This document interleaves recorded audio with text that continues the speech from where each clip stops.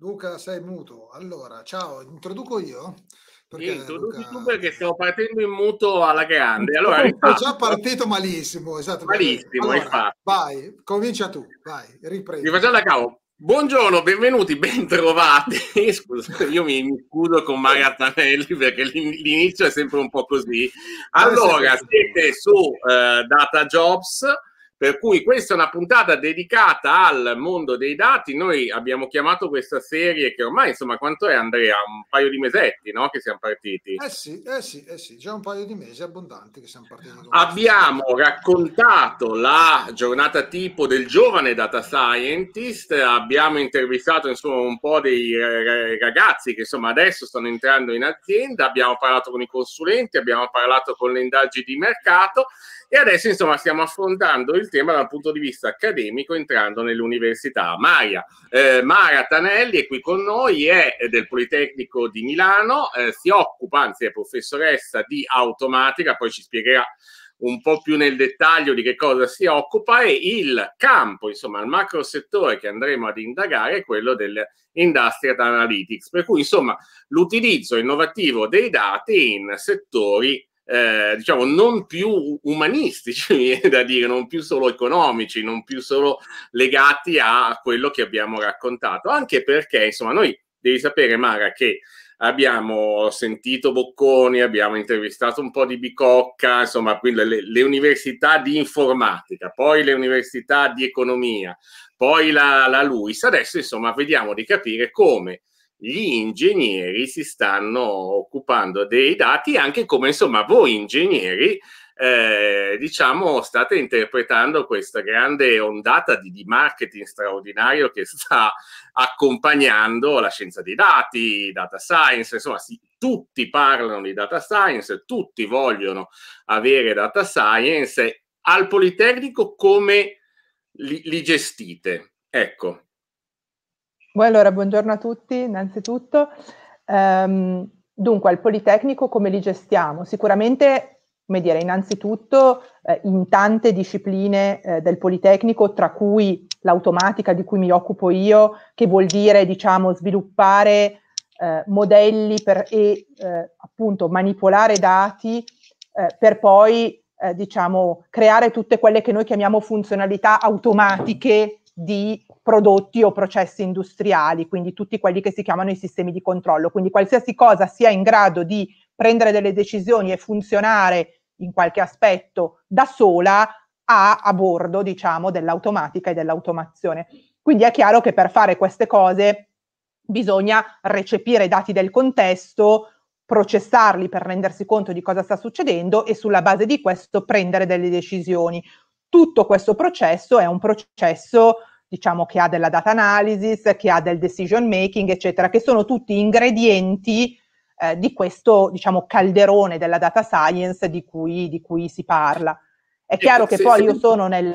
Vai. Se mi permette una semplificazione, Prego. cioè noi la, la, data science l'abbiamo insomma presa dal lato umanistico, dal lato economico, per cui le storie che noi abbiamo raccontato finora erano poi di persone che dovevano fare eh, scoperta dei dati, quindi andavano a vedere dentro le aziende il bagaglio di informazioni che c'erano, prendevano questi dati, li confrontavano con un contesto che è per lo più economico per cercare di scoprire insomma degli insight, dei suggerimenti economici, delle raccomandazioni oppure capire quali erano i punti di forza o di debolezza. Voi applicate lo stesso, diciamo, paradigma, per usare un'altra parola che va sempre di moda tra noi giornalisti tecnologici, eh, alla, all'automazione, cioè all'industria, alla tecnologia, per cui non, non, mi viene da dire che non c'è nessuno meglio di un ingegnere che è in grado di capire il funzionamento di una macchina e quindi capire come questa macchina può in modo automatico processare i dati. Sono stato promosso? promosso, promosso. Diciamo che okay. quello che caratterizza questo tema, diciamo, dell'industrial analytics è proprio aggiungere ai dati una conoscenza forte del contesto industriale che gli sta intorno, nel senso che le aziende che sono interessati ad utilizzare dei dati che magari hanno e non hanno mai sfruttato. Io collaboro per esempio con Leonardo Elicotteri, in cui i dati di volo dei velivoli eh, vengono usati adesso per fare manutenzione predittiva, per fare predizione dei guasti eh, e, e, così via. Quindi è chiaro però che non puoi prendere dati di un dominio così complicato come, che ne so, una parte rotante di un velivolo e pretendere di tirar fuori delle informazioni utili senza una conoscenza forte del contesto. Ecco quindi che la declinazione, diciamo, da ingegnere, soprattutto da ingegnere industriale, è questa, quindi di unire le tecniche della data science proprie per l'analisi dei dati con la conoscenza di dove questi dati sono stati presi, anche perché, diciamo, eh, il dato di per sé eh, come dire, agnostico, quindi dagli stessi dati può venire tutto il contrario di tutto, quindi l'aspetto di analisi critica dei dati non può che venire da una forte conoscenza del contesto. Ecco, in questo senso eh, ti faccio subito una domanda prima di dare la, la parola ad Andrea. Ehm, che, che, tipologia di eh, data science ingegnere, mettiamo, arriva da voi? Cioè che profilo hanno? Cioè il ragazzo che si iscrive al Politecnico di Milano, per questo parliamo di uno dei più importanti, se non il più importante polo insieme al Politecnico di Torino dedicato agli, agli ingegneri, alle, alle, scienze tecniche, ecco, per usare un'espressione malsana. Eh, viene da, cioè, vuol diventare, non vuole diventare un banale, un semplice, tra virgolette, data science, vuole restare un ingegnere. Cioè, la, qual è la parte di, di, discovery, cioè qual è la parte di, di scoperta che, che gli dovrebbe appartenere o che gli appartiene? Ma guarda, dunque, tanto il Politecnico è grande e, come dire, ciascun corso di studio sta declinando poi la data science secondo le proprie caratteristiche disciplinari. È chiaro che un ragazzo o una ragazza che fanno ingegneria informatica, eh, come dire, saranno poi responsabili di tutta la parte infrastrutturale legata al big data e che voglio dire, avere dei dati implica poi una necessità di cambiare l'infrastruttura IT, eh, di capire come si conservano, dove si conservano, come si usano, eccetera. Quindi l'ingegnere informatico li sa processare e li sa gestire a seconda poi delle specifiche caratteristiche del corso di studio. L'ingegnere dell'automazione, come dire, li usa ai fini dello sviluppo di sistemi di controllo, di predizione. L'ingegnere gestionale, io insegno anche un corso sull'analisi dei dati per la magistrale di ingegneria gestionale, come dire, deve invece crearsi, come dire, una comprensione degli strumenti che gli servono poi per parlare con lo specialista, magari lui sarà più, eh, diciamo, informato della parte manageriale, ma deve sapersi confrontare, cioè ormai soprattutto quando ci sono di mezzo i dati, eh, i problemi da risolvere sono talmente complessi che serve multidisciplinarietà, quindi ciascuno deve avere le capacità di interfacciarsi con gli specialisti, capendoli, parlando un linguaggio comune e poi mettendo la propria esperienza di dominio. Nessuno risolve un problema industriale che riguarda i dati da solo. Quello, diciamo, non si può. Io, io sono, sono, egoista, faccio un'altra domanda, ma c'è un luogo, cioè ah, nel mercato, nel momento in cui escono dal, dal Politecnico, no? noi mh, insomma indagando questo mondo abbiamo capito che spesse volte, ecco, vengono messi vicino al marketing, spesse volte vengono messi tutti assieme e sono diciamo una, una, una business unit che poi risponde a tutte le altre, alcune volte insomma affiancano direttamente nel caso di aziende più piccole il CEO, no? cioè il business per provare a rispondere alle domande. Nel vostro caso la collocazione di questi ingegneri eh, specializzati nei dati o che quantomeno anche, hanno anche lo skill sui dati hanno una diversa collocazione rispetto al, a, al passato degli ingegneri, al passato ruolo degli ingegneri, ma sto pensando, non so, all'ingegneria gestionale dove poi eh, svolgono dei, dei, compiti estremamente manageriali all'interno delle imprese. Cioè, rifaccio la domanda perché così era troppo complicata. Nel, nel, nella la, doma, la, la, domanda di, eh, di ingegneri di, di dati, eh, ha trova una collocazione professionale chiara, un luogo chiaro all'interno dell'azienda o si sta formando adesso? Ma diciamo che questi nuovi lavori che si chiamano appunto data scientist, data manager eh, o i temi di data valorization, eccetera, sono, sono nuovi, però come dire, per i nostri ingegneri, soprattutto quelli dell'area di ingegneria dell'informazione, sono un, un nuovo eh, punto d'arrivo, come dire, che li rende, se vuoi, eh, ancora più appetibili. Eh, devo dire che anche in ambito aziendale eh, in tanti non hanno molto chiaro, cioè sentono questo grande bisogno di diciamo, dire o capire eh, che cosa possono fare con i propri dati, ma spesso poi nei rapporti diciamo di ricerca applicata anche che noi abbiamo a livello eh, di dipartimenti delle nostre attività di ricerca, un grande tema è guidare le aziende nella comprensione e nell'analisi di, do, di quali dati hanno, prima di tutto di se ce li hanno davvero, perché poi c'è un po' tutto questo tema che a, a volte ti chiamano, dici benissimo, vorremmo fare questa cosa, d'accordo, cominciamo, ci serve un dataset di esempio per cominciare, che vuol dire un insieme di dati del tema prescelto e poi c'è il grande dramma che questi dati in realtà non, non esistono, esistono o comunque non sono raccolti nel modo corretto. Quindi in Italia c'è anche un grande bisogno di, come dire, insegnare alle aziende a come mettersi in grado di avere i dati che poi possono valorizzare. Quindi diciamo i nostri ingegneri che forse hanno in mente questa pipeline che porta dal dato di per sé a un output concreto, eh, possono avere anche questo ruolo che, come dicevi tu, le grandi aziende che possono permettersi una business unit di eh, data analysis che ha dentro un po' di tutto, eh, sono av- avvantaggiate. Il nostro tessuto industriale, che è fatto per lo più di PMI, ha un forte bisogno anche di questa competenza che fa un po' lo span di come si arriva dal dato ad un output di valore. Lì forse l'ingegnere, nel suo contesto naturale del corso di studio, può essere di grande aiuto perché copre questo range un po' più ampio. Ecco, io diciamo così, una osservazione eh, c'è un bisogno che oggi è abbastanza presente, che si rileva dalle varie imprese, di connettere, cioè di mettere insieme l'officina eh, e il marketing fondamentalmente. C'è tutto il processo di acquisizione clienti, eh, il marketing funnel, arrivare alla vendita, questo anche per il B2B. E poi c'è l'officina. Il dato vorrebbe diventare il punto diciamo così, di caduta che possa veramente unire questi due aspetti. Per le grandi imprese già lo si fa, ok, però ovviamente come appunto tu dicevi prima ci sono tante medie imprese italiane della, diciamo, eh, che, che, che, appunto fanno industria e che hanno di fronte un problema. Quali sono le competenze da mettere in campo, se appunto ci sono, come vengono formate e quali discipline servono per cercare di, diciamo così, ricostruire la filiera de, del dato, dall'acquisizione del cliente sino alla fornitura dell'ordine, alla parte logistica, poi alla parte di raccolta della soddisfazione, senza dimenticare che appunto il cuore fondamentale è la produzione, cioè è quello che accade in quell'officina lì, che poi è quello che poi ah. conta veramente. Soprattutto Ti faccio una premessa, Mara, lui è un manager, io sono un giornalista, per cui lui è più bravo, per cui io faccio un po' no, è, i massimi, io sto un po' sui massimi sistemi, lui entra proprio il cliente, capito? Non sentirai mai un giornalista dire il cliente, questa è una cosa che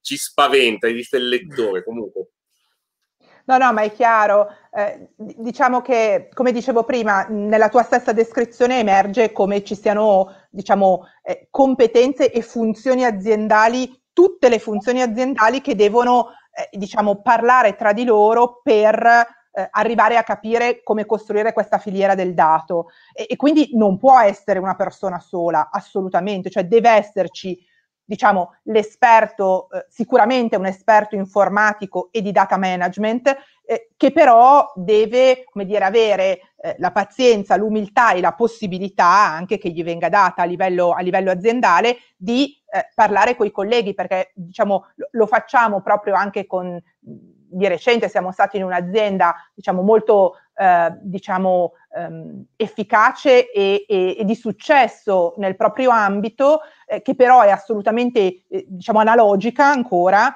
e quindi ci siamo trovati proprio a fare questo ragionamento, cioè come facciamo a mettere insieme i pezzi.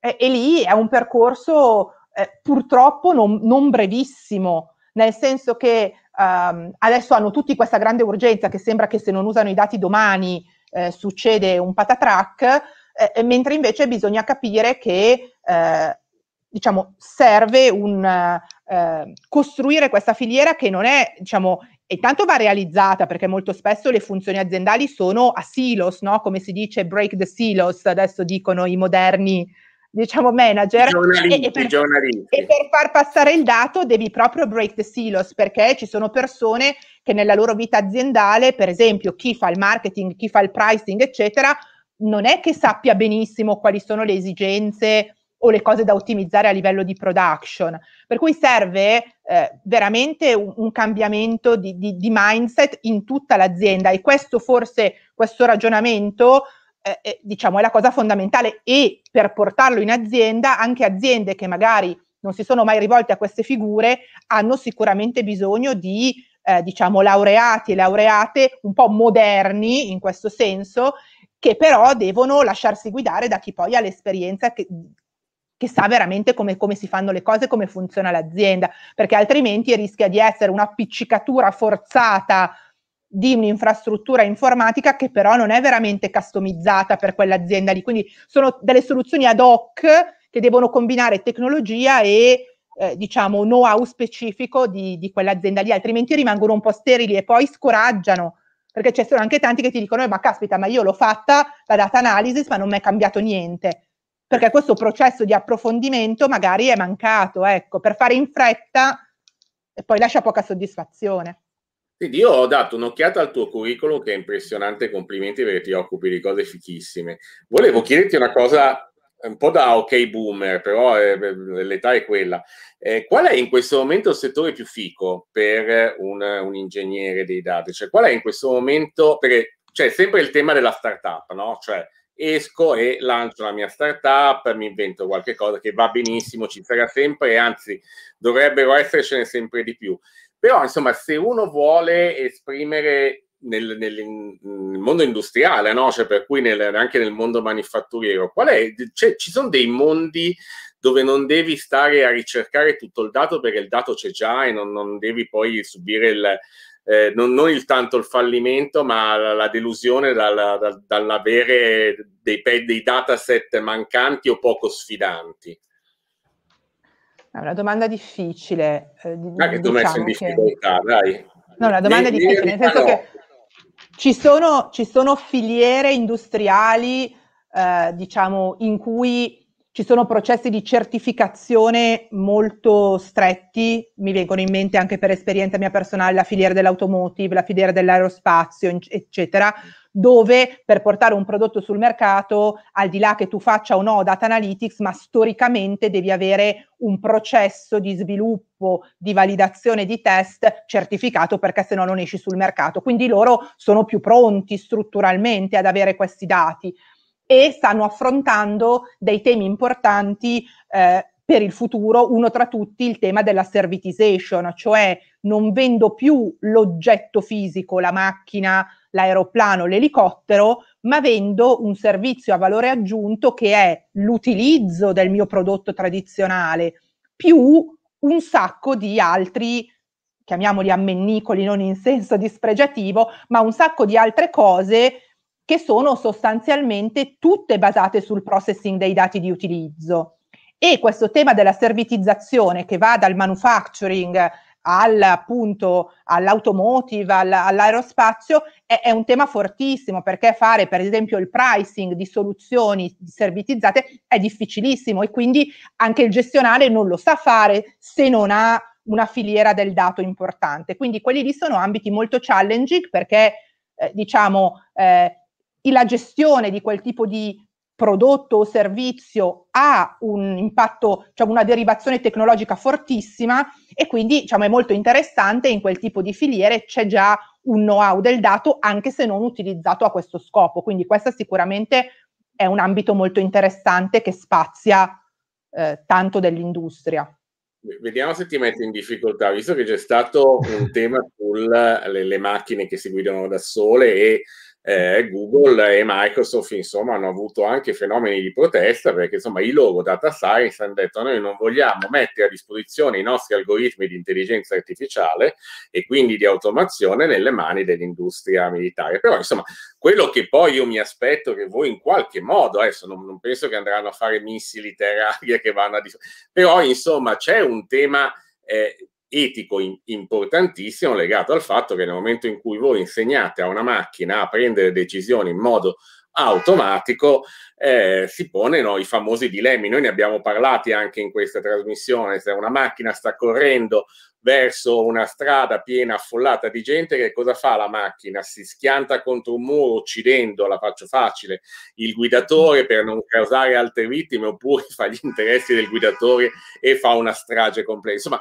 l- l- per voi, forse più che per altri, perché poi che si occupa adesso non è per sminuire, ma se il cliente di Gianotti che deve massimizzare la vendita del, del suo prodotto, sì, va bene, fare, metti insieme le filiali poi, insomma, voi poi andate anche a, a scrivere eh, gli algoritmi e le, insomma, che vanno poi a spingere una, un veicolo o una macchina a prendere delle decisioni che possono essere buone o no. Ecco.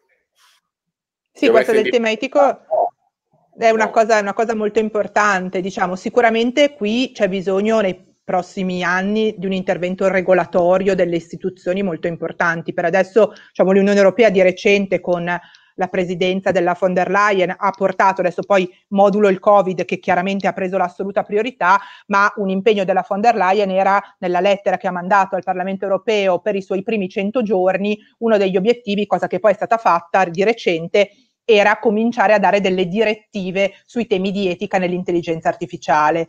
Siamo alle direttive ovviamente perché è molto difficile codificare una regolamentazione, eh, ma sicuramente va fatto perché mentre se l'incidente di cui parlavi prima è causato da un umano che rispettivamente va contro il muro oppure fa, tra virgolette, una strage perché passa dritto in mezzo a una folla, come dire, si indaga, ma nel modo canonico, non so come dire, eh, no, no, non si va a dare la colpa a quello che gli ha venduto la macchina, mentre invece qui cambia tutto perché poi eh, anche il tema di, di chi è la colpa nella filiera industriale è fondamentale perché supponendo che non sia l'OIM che fa la macchina a fare la parte di infrastruttura diciamo automatica delle decisioni, eh, dopodiché come si scrivono i contratti che dirimono in condizioni di questo tipo di chi è la colpa è, è molto importante e a seconda di come verranno regolamentati eh, determineranno certe scelte da parte dell'industria. Magari chi, chi, dà l'intelligenza dice no, guarda, cioè le implicazioni penali eh, sono tali per cui io quella cosa lì non la voglio fare. E quindi da un lato potresti addirittura bloccare lo sviluppo. L'altra infatti, cosa che volevo dire, scusa, no, no, prego, lo dico vai, dopo. Vai, vai, vai, vai, dillo. No, dicevo che tu dicevi prima, così un po' scherzando, no? il tema del manager di Andrea. Attenzione che però adesso si parla tanto di digital HR, eh, cioè eh, far supportare le scelte del, eh, del people management dall'intelligenza artificiale e lì, come dire, prendere la, prendersi la responsabilità di sviluppare, che ne so, un sistema automatico di analisi dei CV che poi prenda delle decisioni da sottoporre eh, all'HR che poi fa i colloqui, e in quel processo lì ci sono grandi problemi etici e molto interessanti anche dal punto di vista tecnologico, che poi hanno a che fare con l'uguaglianza di genere, con i problemi eh, di bias eh, razziali, eccetera, eccetera. Quindi anche lì che non vai contro il muro, però rischi, cioè però entri nella vita delle persone molto direttamente. Però Mara, nel caso che tu dicevi, l'intelligenza artificiale mi aiuta a fare una scrematura e poi c'è comunque un terminale umano che sceglie. E chiaramente io sono d'accordo con te, se io programmo l'algoritmo per cui dico le donne dai 30 ai 40, meglio di no, perché magari vogliono avere figli e eh. tutto quanto, capisci che poi io, anzi, faccio la figura del figo che sono l'HR e dico no, ma io non avevo donne tra i 30 e i 40, me le ha scelte l'intelligenza artificiale che ho programmato io, per cui siamo alla, alla truffa no? da un punto di vista però nel momento in cui poi la macchina è completamente automatizzata e prende decisioni, perché sai tutto il tema della black box, perché l'algoritmo poi è fatto dalle grandi piattaforme americane, perché non ti dicono come hanno scritto l'algoritmo, è una scatola nera che decide per te. Ecco, allora lì viene da dire che la colpa è del data scientist che ha programmato quell'algoritmo lì, perché io non lo posso vedere. Eh, adesso c'è un grande dibattito e io sono molto europeista da questo punto di vista, per cui è benissimo questo umanesimo dell'intelligenza artificiale, però gli americani ti rispondono dicendo noi non abbiamo la possibilità di guardare, voi non avete la possibilità di avere trasparenza dell'algoritmo, perché l'algoritmo più lavora, più può allontanarsi, dimmi se sto dicendo una stupidata, da quelle che sono le, le, le, rules, le regole che il programmatore gli ha dato e quindi prende delle decisioni di cui il programmatore papà non è necessariamente responsabile. Questo è sicuramente possibile, eh, è proprio per questo che ci vuole, adesso si parla di, di eh, come dire, in, progettare, sviluppare meccanismi di auditing anche degli algoritmi stessi, eh, e, mh, come dire, a un certo punto questo eh, self-learning di cui parlavi tu, cioè io ho questo algoritmo di base che poi sulla base della propria esperienza in qualche modo si riaggiorna, eh, bisogna secondo me decidere in senso anche regolamentatorio a un certo punto dove tutto questo si ferma. Forse per riuscire a regolamentarlo e a essere più sicuri eh, bisogna che questa decisione automatica a, a un certo punto la si costringa a fermarsi.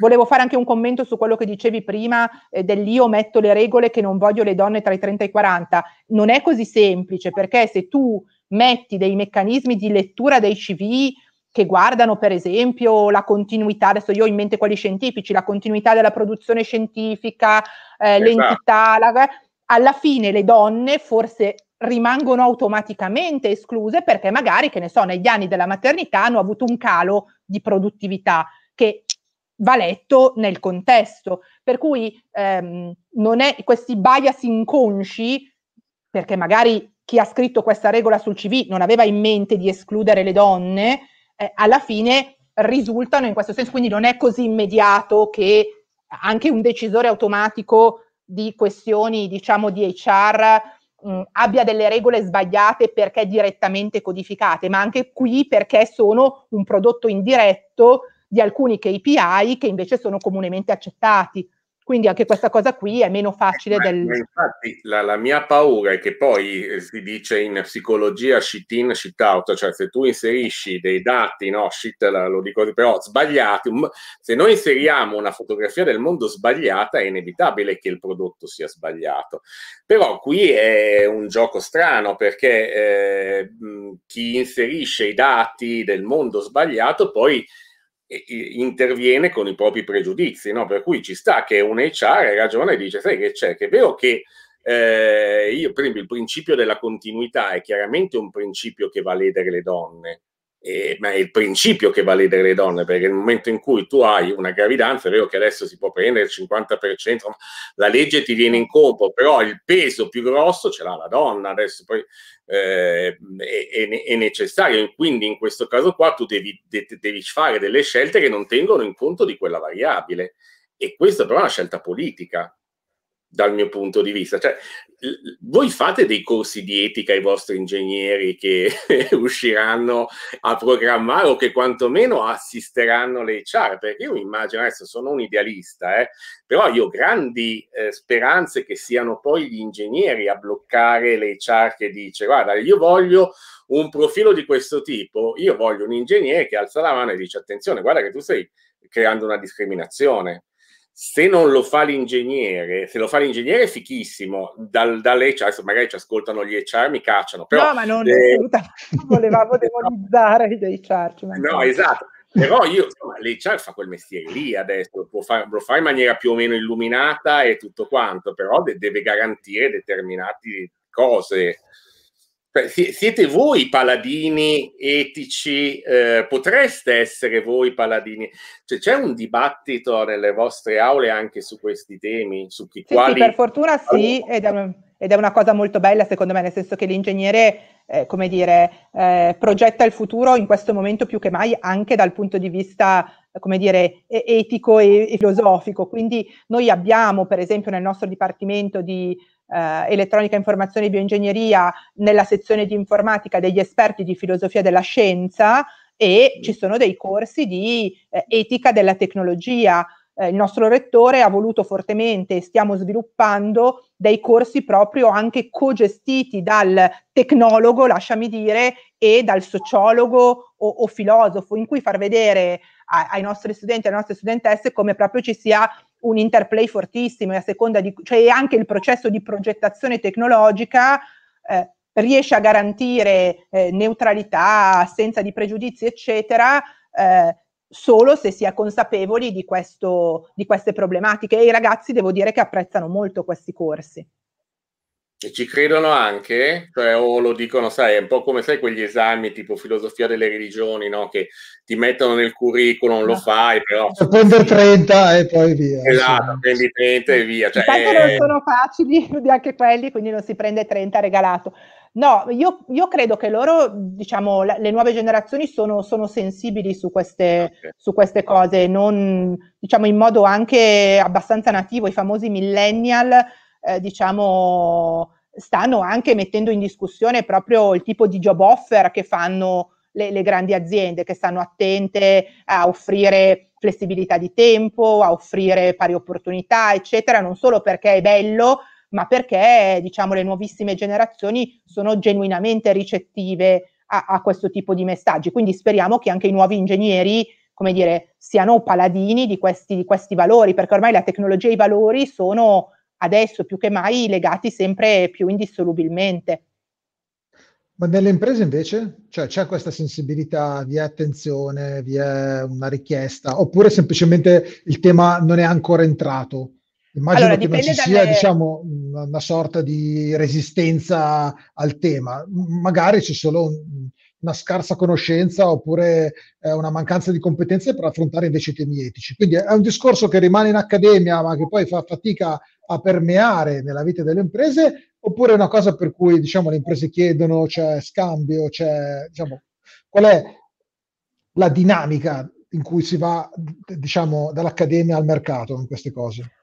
Allora, diciamo che la dinamica c'è e è, partita. Ci sono tantissime aziende, soprattutto quelle grandi, che così come si stanno dotando di eh, Chief Digital Transformation Officers, si stanno dotando anche di uh, diversity and inclusion managers e cose del genere. Diciamo la spinta grande eh, l'hanno avuta adesso i temi legati alla diversità, che però hanno, come dire, portato dentro tutta l'importanza e la rilevanza degli stereotipi che poi adesso si sta piano piano comprendendo che diciamo si allargano eh, a livello aziendale anche proprio al, a, al prodotto molto spesso e quindi sta crescendo, c'è sempre più richiesta delle aziende anche di confrontarsi eh, su questi temi e di capire come la tecnologia possa supportare ovviamente non risolvere, ma supportare anche eh, l'analisi e la quantificazione di questo tipo di, di meccanismi. Quindi c'è ricettività, anche qui partono i grandi, però questi temi ormai sono in agenda abbastanza in modo evidente eh, insieme diciamo al macro tema della sostenibilità, però stanno prendendo sempre più rilevanza. Però io immagino diciamo, lo dico un po' da assolutamente incompetente in materia e appunto mi scuso. Immagino che, che ne so, nella parte industriale vi sia da sempre il tema dell'etica presente quando uno va a che ne so, fare il progetto di un pezzo. No, il progetto di un pezzo deve essere fatto, come dire, al meglio delle proprie possibilità, riducendo i rischi, ma i rischi sono comunque, diciamo, una, una componente fondamentale, cioè il, il pezzo de- deve anche vendersi, no? Faccio magari un, un, come dire, una, una, un classico stupido eh, esempio, cioè che ne so, vado a produrre un pezzo con un certo materiale oppure un altro e questa cosa ha due risultati diversi. Se il secondo costa 100 volte tanto e migliora la performance dello 0,00,1%, magari non vi conviene. L'azienda eticamente sceglie, come dire, di avere un, un, rischio minimamente maggiore rispetto ad avere un costo enormemente maggiore che metterebbe fuori mercato il prodotto. Quindi il tema dell'etico... Insomma, le aziende, cioè le cioè, no, no, no, poi, no, com- come, però cioè, il, il, il punto è, secondo me questi sono temi ben presenti e solidi nella pratica dell'etica aziendale. Quando questo poi si va, come dire, va ad incidere nel mondo dei dati, della creazione degli algoritmi, del fatto che io devo mettere insieme aspetti di produzione differenti, il fatto che un ingegnere abbia a che fare con i dati, oltre che con la fase di, diciamo così, progettazione hardware, questi temi sono comunque, eh, diciamo, chiari alle persone che stanno in azienda oppure sono, diciamo, fanno parte di quel mondo ignoto per cui devono ancora arrivare. Ecco, un po' questo è il discorso, perché poi eh, diciamo così, il tema della diversity è comunque molto molto presente. Eh, è chiaro che insomma al di là di alcuni casi, però insomma è abbastanza diffuso e tutte le aziende si stanno attrezzando e hanno ben chiaro qual è il bisogno etico. Io, come dire, immagino di essere un ragazzo che si forma e che esce e che deve anche come dire, avere questo bagaglio di conoscenze e di competenze quando va a scrivere codice, a programmare un firmware di una macchina e, e questo deve farlo tenuto conto, eh, come dire, che ha un tempo per farlo, per cui deve farlo al meglio delle proprie possibilità, ma se la macchina si rompe, perché lui ha avuto due giorni anziché dieci per andare a, come dire, a scrivere quel codice, eh, ha il coraggio di alzare la mano dicendo no, ho bisogno di altri otto giorni di test perché altrimenti la macchina potrebbe rompersi o no? È un po' questo che poi magari manca, diciamo, alla parte aziende, oppure non manca, perché poi la mia è una domanda, ripeto, sono assolutamente incompetente in materia, ecco, quindi questo era un po'... Sì, sì, questa è più, è, più, è più, come dire, etica del lavoro che non, che non etica, eh, diciamo, dei, dei, dati, quindi lì, secondo me, mh, come dire, dipende poi dal, dal contesto aziendale e dalla, e dalla singola, diciamo, dall'atmosfera che si, crea, che si crea nel team. Quindi noi cerchiamo di insegnare ai ragazzi che, come dire, eh, i, i, processi di progetto e di realizzazione per essere efficaci hanno bisogno di tutta una certa tabella di fasi che va completata, perché se non fai il test non puoi fare certe affermazioni, che certe affermazioni vanno fatte su base statistica e quindi hanno bisogno di tante analisi e così via. Quindi sono sicuramente consapevoli anche di questo diciamo, responsabilità poi di dire che quello che tu hai fatto funziona o non funziona bene, all'interno di quali contorni puoi fare certe affermazioni. Quindi questo, diciamo, l'etica della professione in, in generale.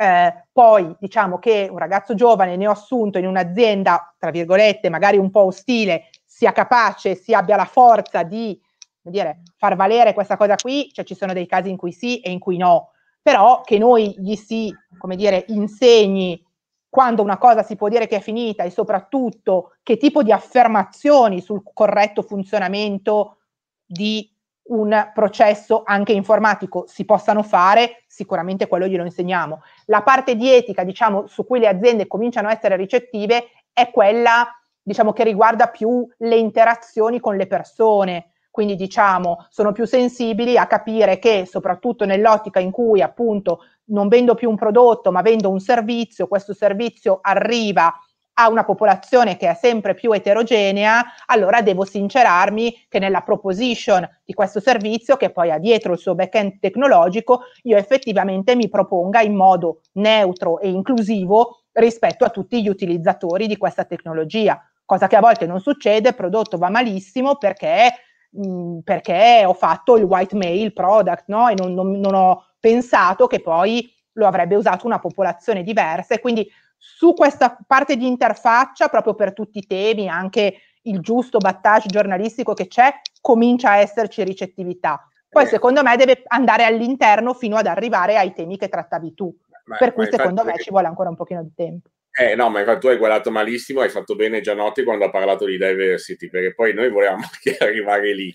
Cioè, il, il tema è, eh, c'è attenzione da parte delle imprese, perché voi non solo formate ingegneri, poi di fatto cioè, insomma, il Politecnico entra anche nelle, nelle aziende a portare innovazione, a fare trasferimento tecnologico. Per cui insomma siete anche visti un po' come quelli che i professorini no? che entrano nelle aziende a portare innovazione, questo me lo raccontano anche altri tuoi colleghi, per cui siete trattati con, con rispetto, ma eh, vi tengono un po' lontano.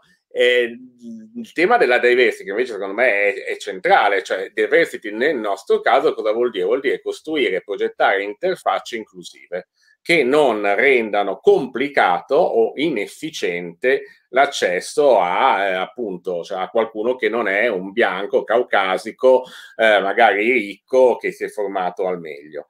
Eh, questa parte qui, di cui noi scriviamo tantissimo, eh, ci piace tantissimo come ci piace la parola data science, però non, alle volte io quando spengo il computer e mi sento tutto bello soddisfatto perché abbiamo fatto il gender gap di qua, abbiamo raccontato, mi domando sempre sì, ma chi se lo legge e, soprattutto, ma sarà poi vero che quando si chiude la porta al giornalista o al professore universitario, no? Le decisioni poi vanno in questa direzione. Guardando voi i prodotti finiti, insomma, eh, trovate che siamo già entrati nell'era dell'inclusione oppure ci stiamo, abbiamo messo solo un piedino?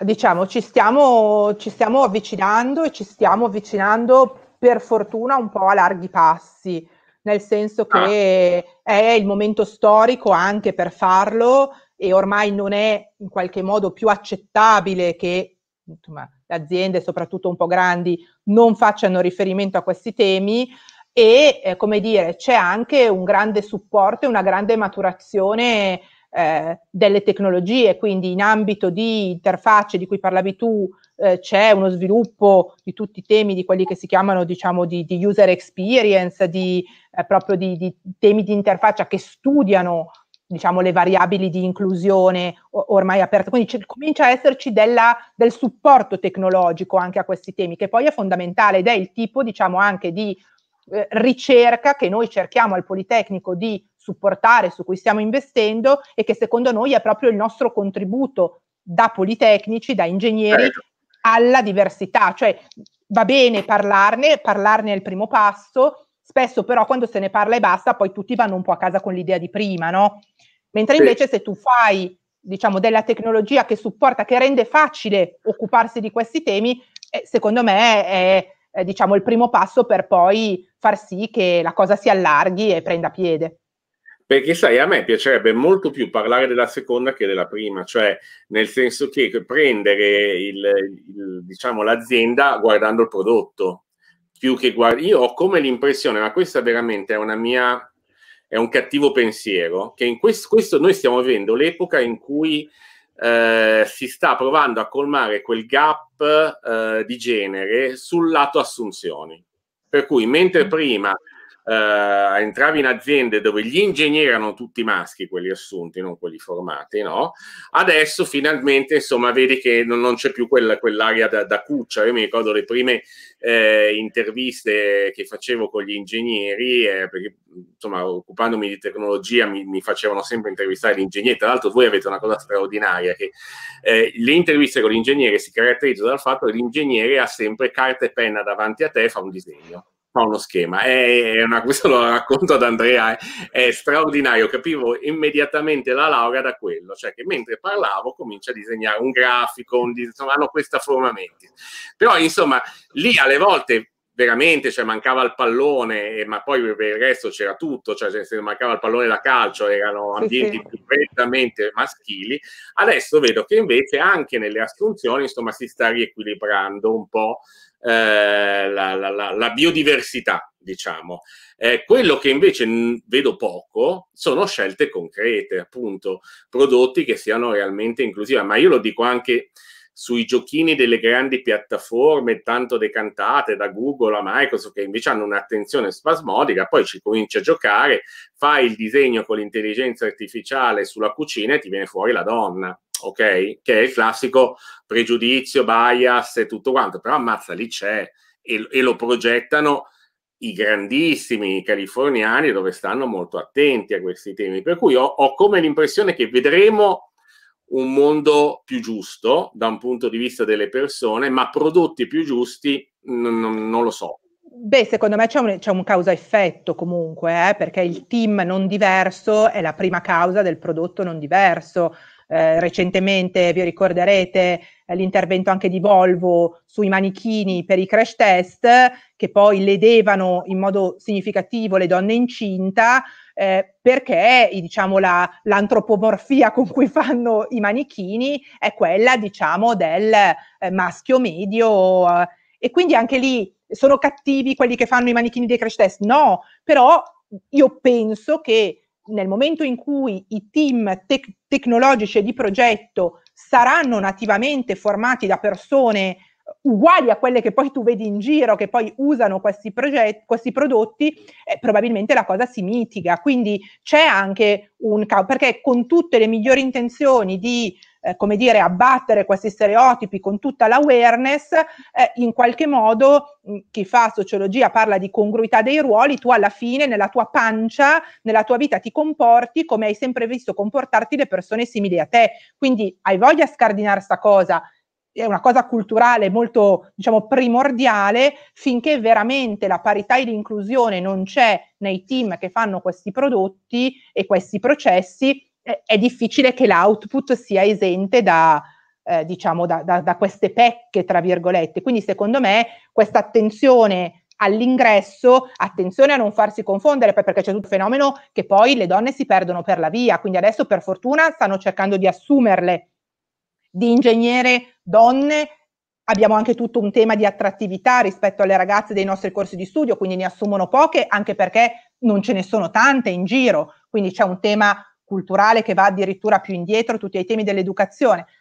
E, e quindi eh, diciamo la strada è lunga e poi bisogna accertarsi che una volta che entrano in azienda possano fare la loro carriera senza, diciamo, arrivando poi ad acquisire quei ruoli che permettono loro di prendere delle decisioni eh, che speriamo piano piano porti, però è, siccome il fenomeno di base è ancestrale, la soluzione non può essere uno schiocco di dita. Però sei d'accordo che è un piano inclinato quell'aspetto lì? Mentre secondo me è meno un piano inclinato il fatto che poi anche avere, io sono un po' più scettico sul fatto che anche avere dei gruppi misti, poi ci sono delle logiche imperanti dove faccio un esempio sull'editoria, no?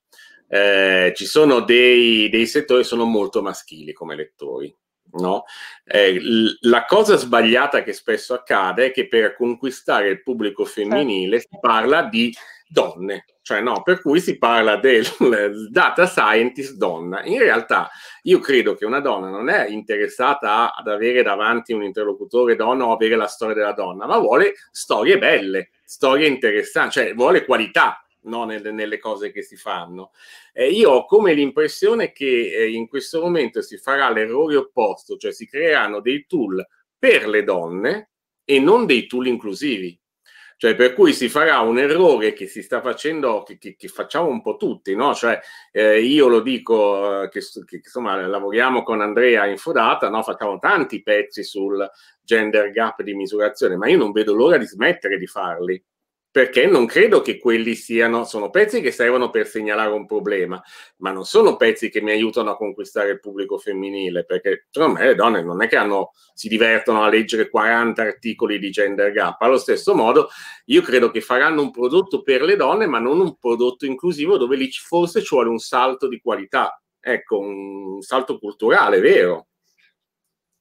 Sì, no, è vero, è vero, ci vuole, però eh, un pezzo della storia per farlo succedere è anche, quello, certo. come dire, è anche quello, perché è vero che diciamo, il pezzo sulla donna di per sé, come dire, no, non aiuta particolarmente la causa, però se io, diciamo, bambina eh, italiana, cresco vedendo stabilmente al telegiornale, sui giornali, adesso non lo leggono più su Twitch, eccetera, che a parlare di certe cose ci sono intercambiabilmente donne e uomini a parlare di cambiamenti climatici, a parlare di automobili, a parlare di qualunque cosa, così come anche gli uomini a parlare di temi più tradizionalmente femminili, a questo punto io, esatto. come dire, mi sento di eh, appartenere a dove la mia passione mi porta, non sento di appartenere sicuramente solo lì perché è tutta la vita che vedo quella cosa lì. Non tutte hanno una, diciamo, substrato familiare che già gli propone diciamo, una, una, parità assoluta, quindi a maggior ragione per quelle ragazze è importante, come dire, vedere, e in quel, in, quel, in quel, contesto secondo me l'editoria e il giornalismo hanno un rapporto, quindi non a far vedere la donna brava come se fosse, come dire, quella da mettere sul soprammobile perché è il caso particolare, quella cosa lì rende quasi ancora più ansiogena la ragazza che dice caspita, oh se l'unica che mi fanno vedere è quella lì, io non riuscirò mai ad essere così. Ma se comincio a vederle sempre che dicono le loro cose tanto quanto le dicono gli uomini su tutto, a quel punto io mi sento che posso andare un po' dove mi pare. E quindi sì, in no. quello secondo me c'è Ma un infatti, ruolo positivo. C'è una battuta tra giornalisti, no? Che quando metti nel titolo donna, eh, ingegnere, madre di otto figli, no? Ecco, quello no. È, ed è tremenda questa cosa qua. No, Perché tu dici, caspita, guarda lì, ha fatto otto figli, eh? esatto. pure ingegnere. No. Capito? E che però è auto, perché magari chi lo, lo, lo fa anche, dice, no? per, per, fare un complimento, ma non si accorge che è estremamente sbagliato perché lì fai passare un, un messaggio che, che, è attenzione. ma lì secondo questo... me basta dirsi, se fosse un uomo come lo scriverei esatto. il titolo. Esatto, esatto. E no, no, infatti è, è, la voglia. Era, oppure non so quando, quando il sorriso del, della tale, del tal politico per cui ti vai a fermare sugli aspetti estetici dici, ma se lo facessimo su un uomo è la stessa cosa il sorriso di Gianotti no? non funziona il sorriso di Gianotti Beh, in no? effetti diciamo chi studia eh, diciamo, la sociologia della linguistica ti dice che uno dei principali socializzazioni dello stereotipo è quello di associare le donne a ruoli familiari o aspetti estetici e poi risultano, la versione scritta sono gli esempi che dicevi tu, no? Esatto. Quindi diciamo studiare anche eh, diciamo, il linguaggio è molto importante anche per questo, perché è il primo veicolo poi degli stereotipi. Allora, Andrea, che facciamo? Abbiamo tenuto, dovevamo tenere 30 minuti, siamo arrivati a 50. Eh, mi sa che siamo un po' lunghetti. Io avevo un sacco di domande, ma tanto erano tutte noiosissime, quindi possiamo poi. Ma io torno, se mi invitate, torno. Dai, la, la, rinvitiamo a questo punto. No, la rinvitiamo! Allora, sai cosa facciamo? Ti rinvitiamo e magari ci racconti un po' di cose, di, di prodotti, guarda che bello, di prodotti che sono inclusivi. Se riuscissimo a farci una puntata... La, Wii, Luca, la Nintendo Wii è stata la prima prodotto veramente no, disegnato per tutti sì, però non dobbiamo neanche fare pubblicità, è un casino sta cosa Ma qua. Ma no, pubblicità, non c'è più quel prodotto lì, è finito. Cioè, ah, no, è vero, è vero, non puoi neanche comprarlo, capito? Cioè, quindi il prodotto lì è stato pensato per uomini e donne, hanno fatto un sacco di soldi perché per la prima volta hanno pensato un prodotto che non avesse di fronte a sé un uomo, una donna, ma solamente una persona. E quindi questa cosa qui è stato un grandissimo successo, un caso che è finito in tutti i libri in tutti i libri di marketing si cita questo, quindi non è niente di particolarmente originale. Però no, giusto no, perché la comunità conosce bene il tema, quello lì è stato il vero game changer di questa industria. Ha parlato non solo ai maschi giovani, ma a tutti.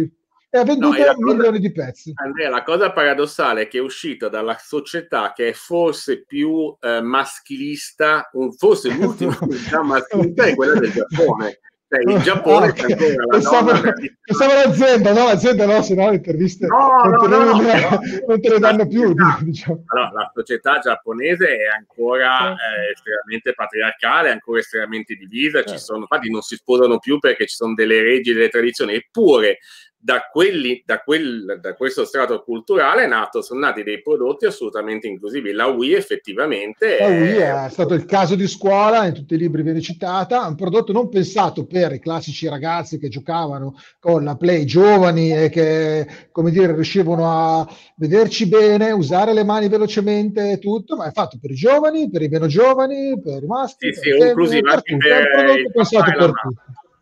È un prodotto pensato per tutti. Mara, grazie del tuo tempo. Noi ci vediamo alle 18 che eh, parleremo di dati, di dati aperti e di politica dei dati, per cui è una puntata insomma che ci riporta un po' a quello che è successo durante il Covid. Arrivederci.